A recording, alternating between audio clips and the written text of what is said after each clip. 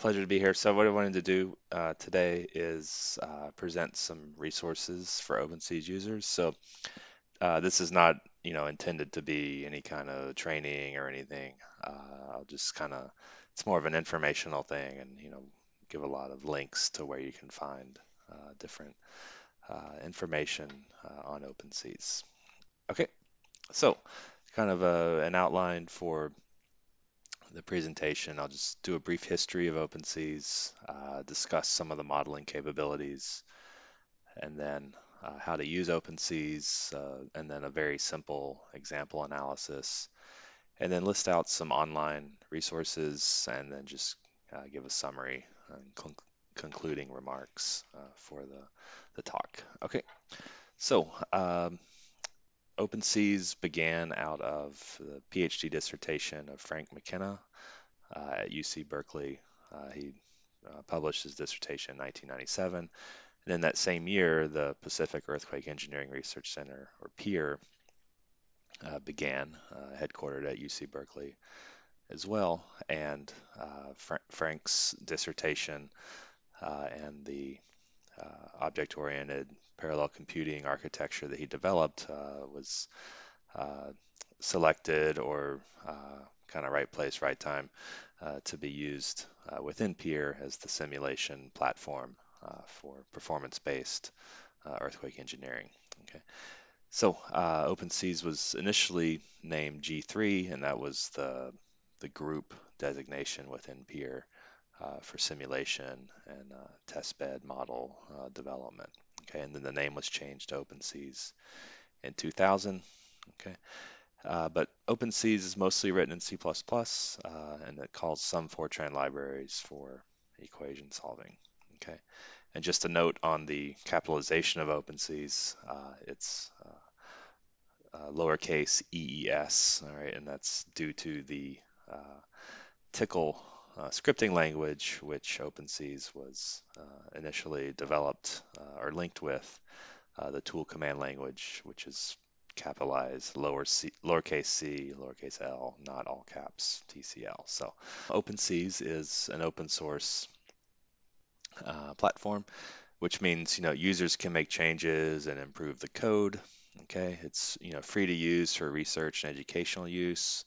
Uh, to incorporate OpenSees within commercial software requires a license. Okay, so uh, open source doesn't mean do whatever you want with it for whatever purpose, right? But you know, for commercial purposes, uh, a license is required. Okay, and the the link is there, uh, and uh, and I just kind of pasted in the the copyright there. Okay, but you know, for research and education, free to use. Uh, and anybody can make changes and improve the code.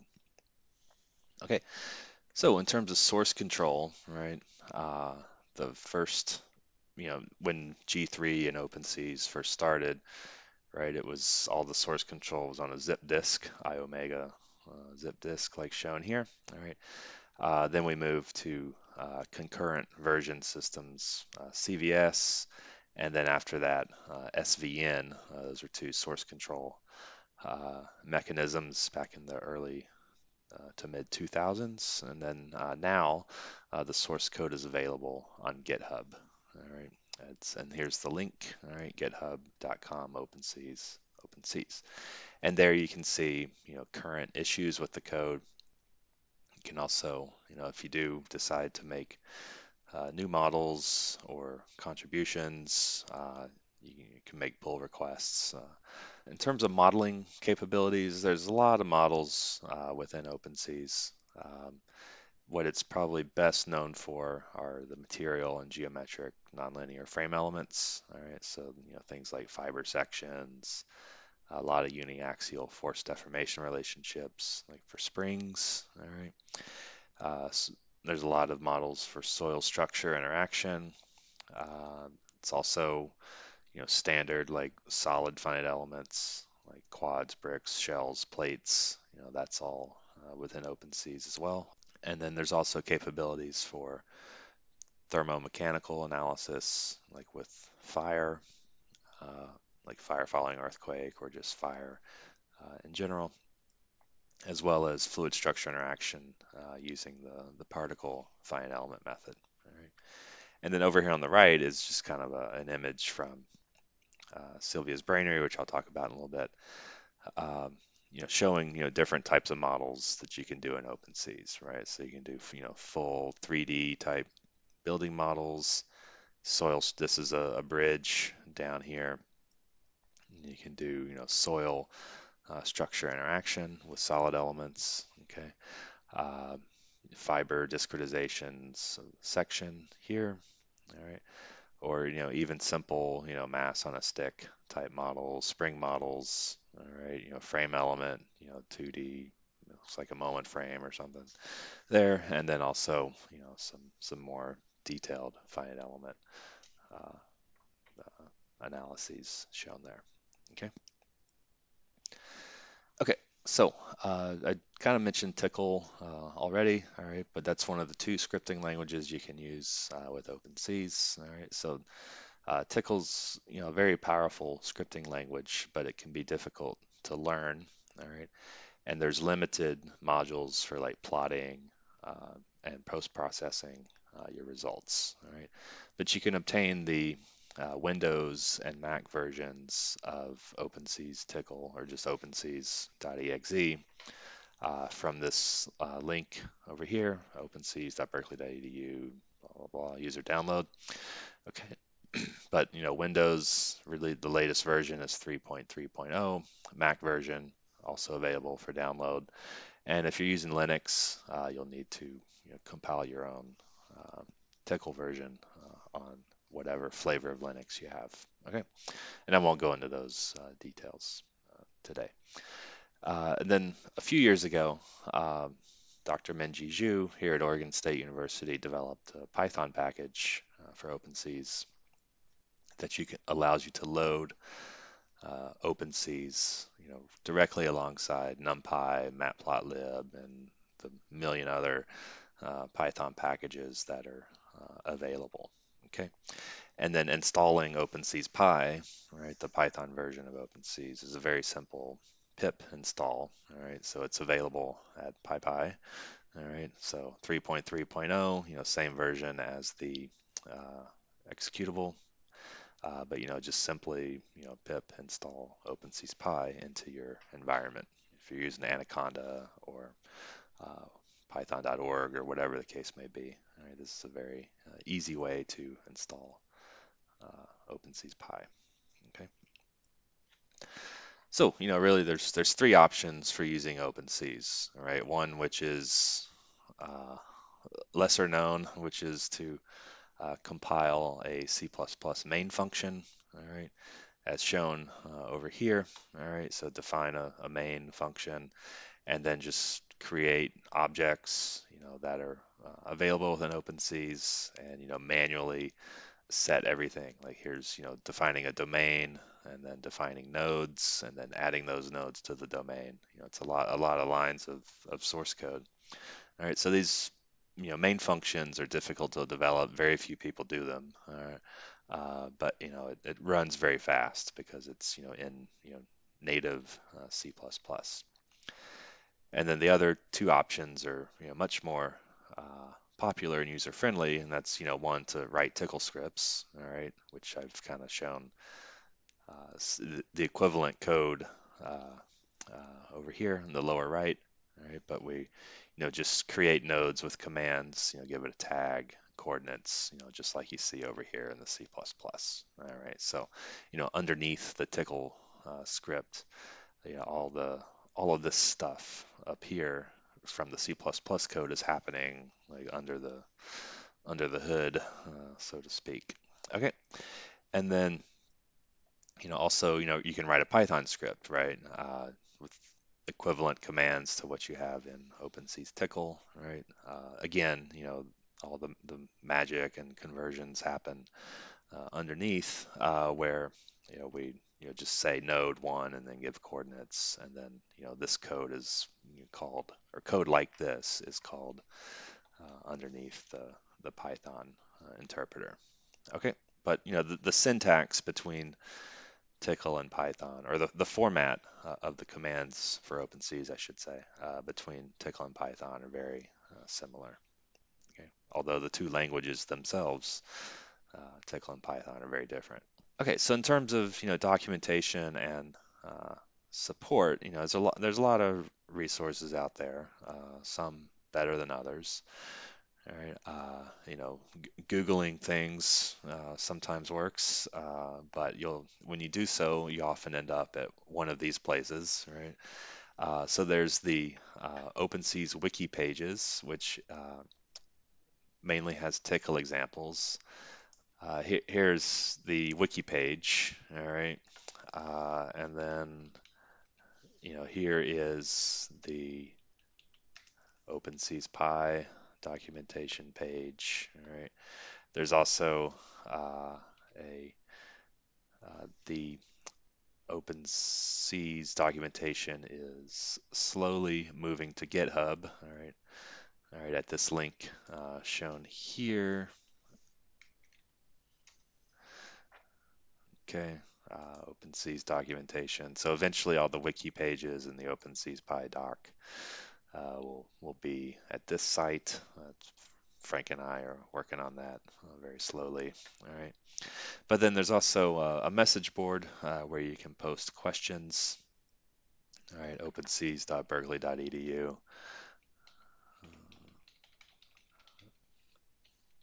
Okay.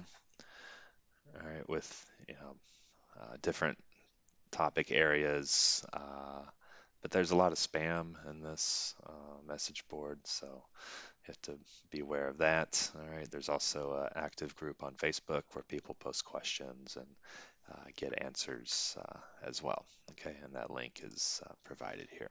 Okay.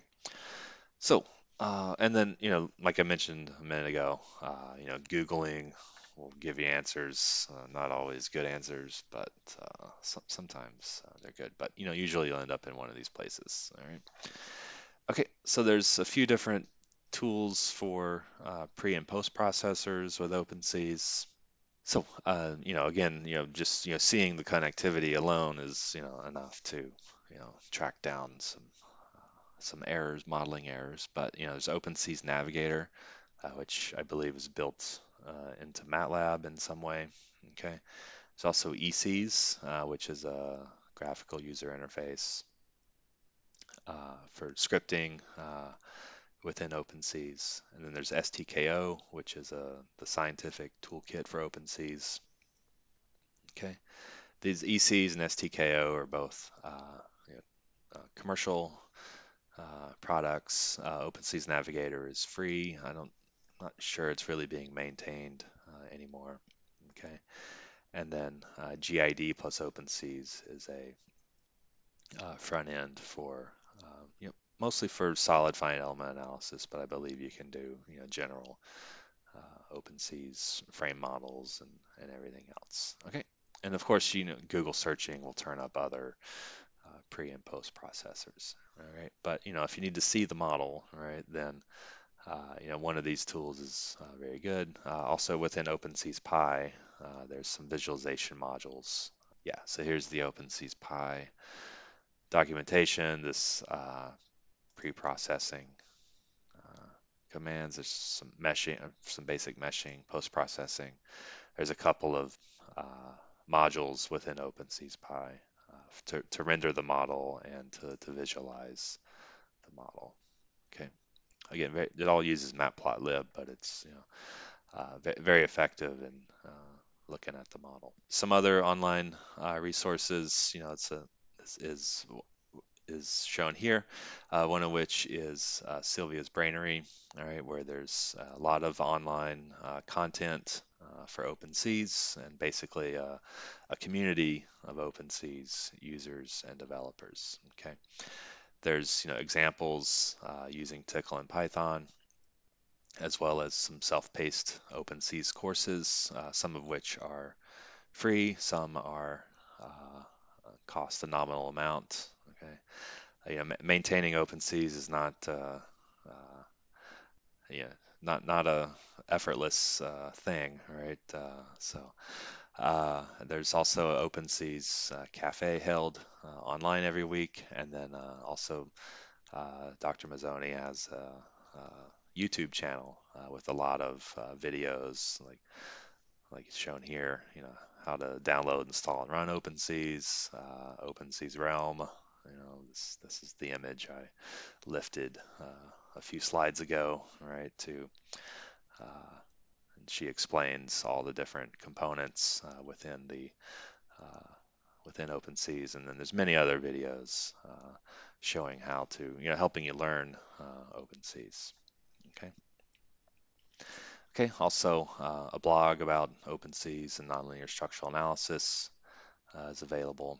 Uh, has you know, Python examples, sometimes different modeling challenges for people to to do, all right, and then kind of compare results and see how uh, what variance there is in uh, different structural models.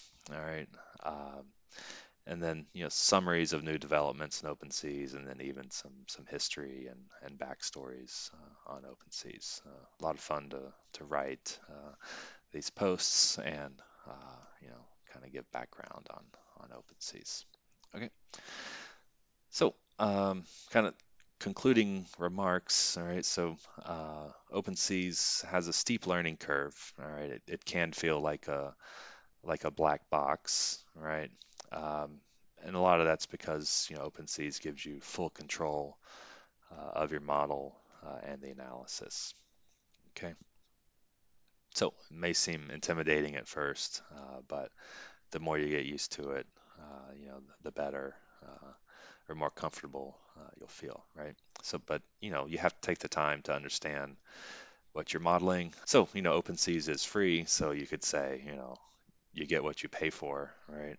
Uh, but I, I don't want to look at it that way, right? Uh, really, it's you know you get what you put into it, right? So if you take the time to, you know,